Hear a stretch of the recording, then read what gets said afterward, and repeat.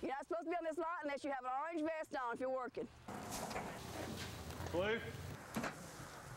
All right, somebody go up to the hut and get a shovel. Hello? We call her the tree Nazi. Come on, we're gonna load trees. I call her the general. she gets the job done, though. This is the load, Patrick. We're loading trees on this one, guys. We call her the Tiny Terror. Go put your drinks down first. We're not drinking party today. Y'all watch out, y'all are tired now. Don't drop them. I'm the master of the stacks. I keep the stacks even, I keep them level, and I keep the little woman happy. Well, the trucks are coming in from North Carolina and everywhere else, and we unload them, and we drill them, and then we stand them up. And people come this afternoon and start buying.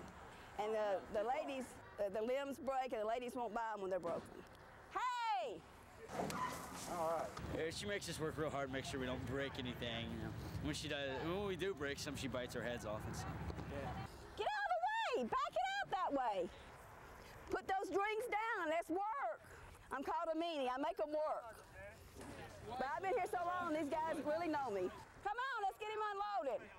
I call her a, All right, y'all, a person ready? that is absolutely wonderful because she knows what the spirit of scouting is all about. Do you have a nickname for her? Rather not say. She, she's the meanest one out here. She keeps us all in line. I want you to work, all three of you. Go. The trees. Because when I shake engine and goose around, you can haul trees.